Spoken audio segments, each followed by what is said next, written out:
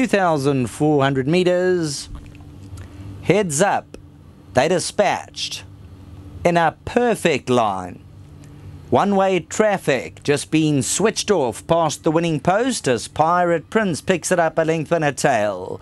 Right there is Rocky Reef in second as they go into the first turn. A fraud in the yellow and black silks is racing in third as they start to stretch out. Cyber Time is fourth, easily five lengths off, a length and a half back to down to business.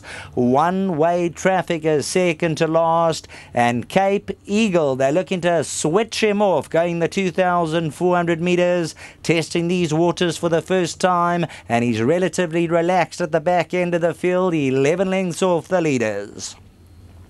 Swinging on to the backstretch and going past the 1700 metre marker. Out in front, you're going to find Pirate Prince painting the picture by two and a quarter. A fraud in the yellows racing second. A neck away on the inside, Rocky Reef. A further length back to the outside, Cyber Time. That races in the shocking pink and white silks past the 1400. Down to business, next wave. Then we have one way traffic on the outside, Shadow Roll. Cape Eagles dropped anchor at the back end of the field.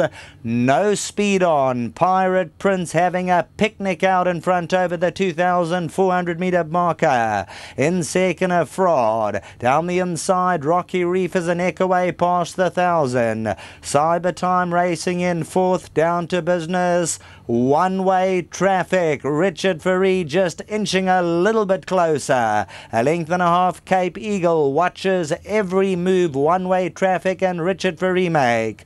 Pirate Prince as they come down to the final 750. A length and a quarter. A fraud for the first time about to get a taste of the bit. Cyber Time comes to the outside. Rocky Reef.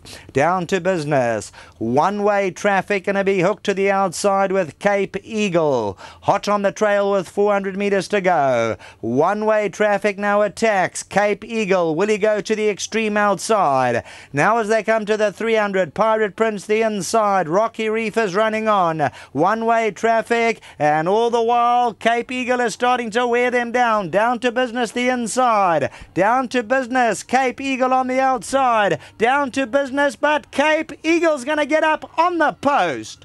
One way traffic down to business. Pirate Prince. Cape Eagle spreads those wings and takes the glory.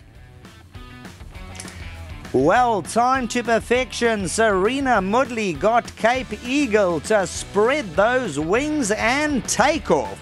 The last 50 meters, one way traffic goes right with them, and it'll be a half ahead decision, the way of number seven, Cape Eagle. Usually, a horse who races up front, they manage to switch off. One way traffic down to business runs a big race in behind these.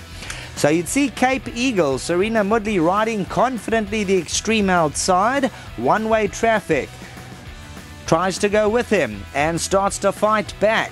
Cape Eagle, both riders, left-handed driving ride. Pirate Princes looking to hang out, down to business, but Cape Eagle for the Andre Nels stable. Sabine Plattner, Le Plasson Stud, the Vercingetorix, Serino Moodley gets the target dead right on the winning post. Number seven, Cape Eagle, will get victory number eight from 23 outings. Absolutely loves the course, and he shows he stays the 2400.